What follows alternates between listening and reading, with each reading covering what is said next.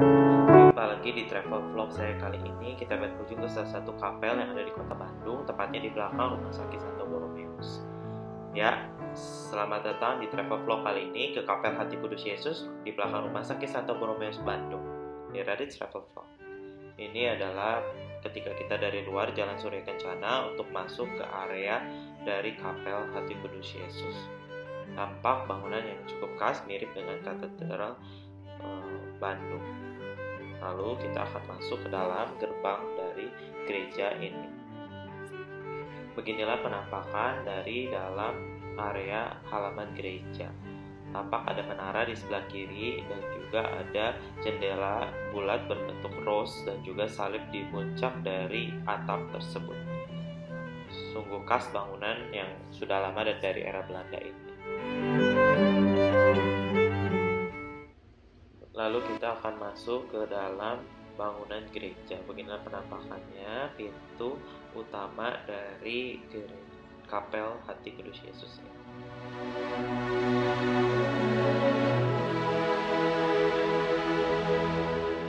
Di samping kiri kapel terdapat gua Maria yang lumayan enak, yaitu ada di luar ruangan. Kita bisa berdoa di sini uh, kepada Bunda Maria. Kita masuklah ke dalam uh, interior dari kapel ini. Ada tampak uh, jendela berukir dengan warna yang khas. Beginilah kondisi dari panti imam.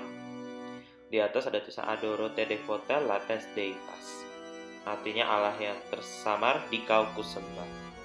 Ini adalah altar, ada tabernakel, ada juga salib berkorpus, lampu dari tabernakel yang menyala, dan juga patung-patung Santa Santo beserta Yesus dan Maria.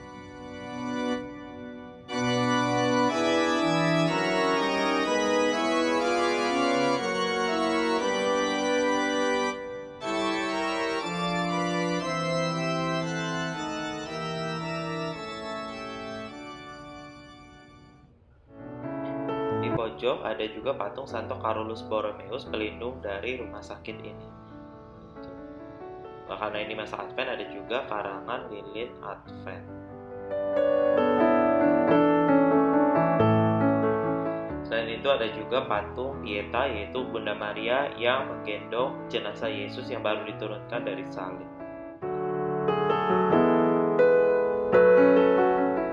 Lampu tabernakel terus menyala selama ada sakramen Maha Kudus di dalam tabernakel. Kita harus hormat di dalam. Oke, melihat ke arah belakang, beginilah penampakan dari pintu masuk dari dalam gereja. Di atas ada jendela berbentuk lingkaran, itu merupakan uh, rose circular window khas gereja-gereja zaman dahulu, katedral-katedral ada uh, jendela bulat tersebut di atas. Sekian travel vlog saya kali ini. Ditunggu video-video saya di uh, selanjutnya.